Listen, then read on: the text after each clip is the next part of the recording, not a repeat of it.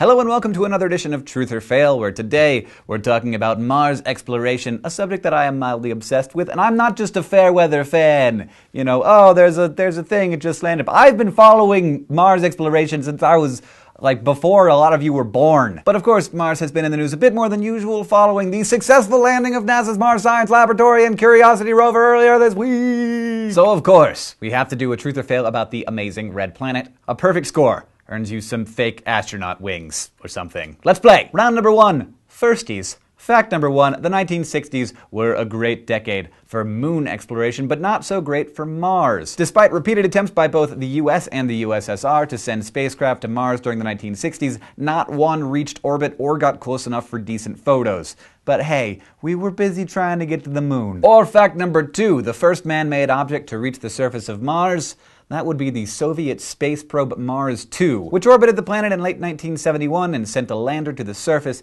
that proceeded to crash into Mars, rendering it useless.